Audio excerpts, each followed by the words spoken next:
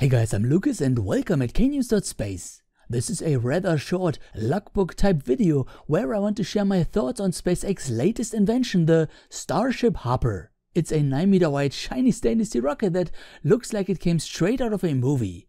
It was built open air in the south of Texas near Brownsville at the Boca Chica beach. It's kinda crazy but they really did it. The hopper was welded together layer by layer on a concrete stand.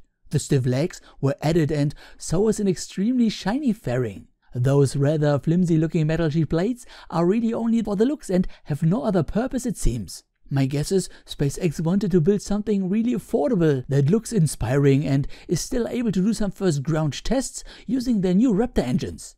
They mounted three of these below, but according to Elon, they aren't the final Raptor engines yet, only a weird Frankenstein, uh, I mean Frankenstein.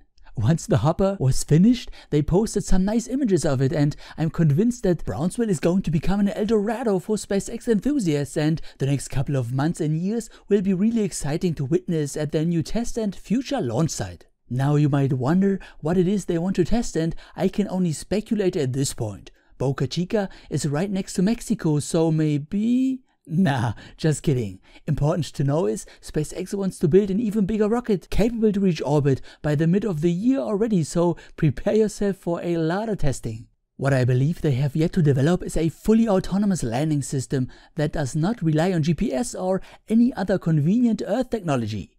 Their rocket has to be able to land on the moon and other planets where there simply is none of this yet so I therefore suspect they will initially try to get the basics right, launch, hover, maybe go a little to the sides, and once they are sure the rocket works as intended, they launch really high. They have a permission to launch up to an altitude of 5 kilometers and they could even extend it in case they need more. This altitude will allow them to simulate a final approach and landing on another body. This particular hopper has stiff legs and a rather flimsy fairing as mentioned so they can't really come in super hot without going out of control and possibly losing the shiny cap. It will therefore likely be a rather slow descent with training wheels so to speak to test and maybe also play with some new developments and generally let SpaceX engineers go crazy on it. What they'll need in particular is some kind of ground scanning and penetrating radar.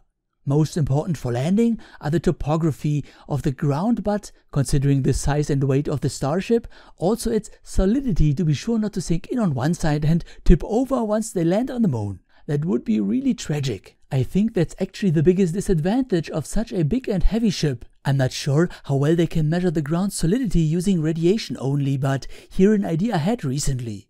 This is only my idea, so don't take it too seriously please. They could in theory shoot many tiny metal bullets towards the ground, which would penetrate and dig into it. The more solid the ground below, the less deep they would dig inside, of course.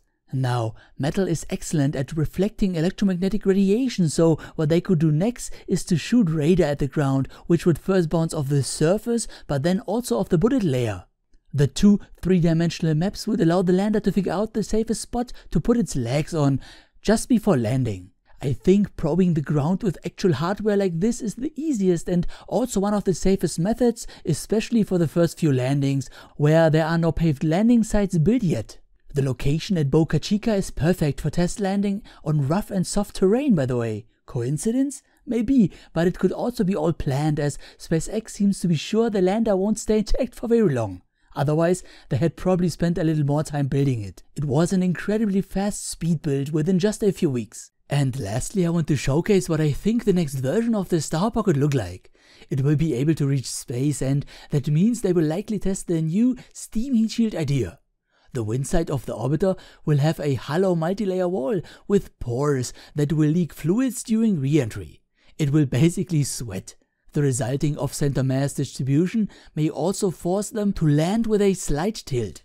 What seems ludicrous would be a happy accident because it would benefit its re-entry profile a bit assuming the test vehicle's legs won't fold like the final design.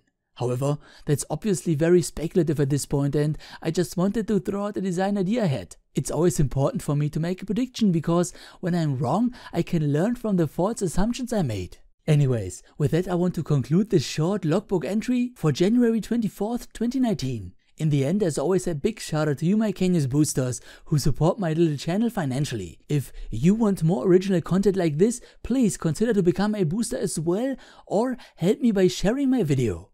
I'm also always open for suggestions and do polls on Twitter once in a while, so feel free to join me there if you like. Auf Wiedersehen and thank you for watching.